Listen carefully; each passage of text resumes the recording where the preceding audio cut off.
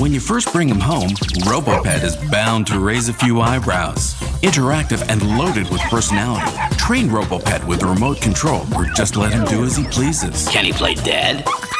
Please, don't get up.